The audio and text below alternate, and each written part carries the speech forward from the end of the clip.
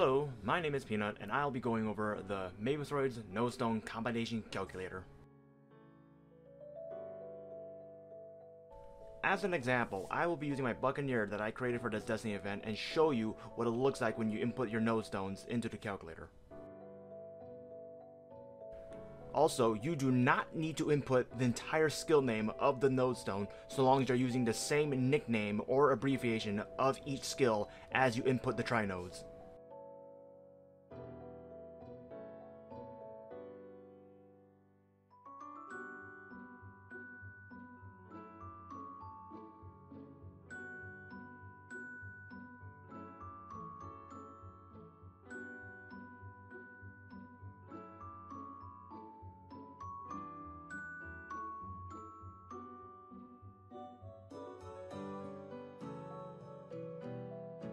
Please take note that the end result of this example is a perfect scenario.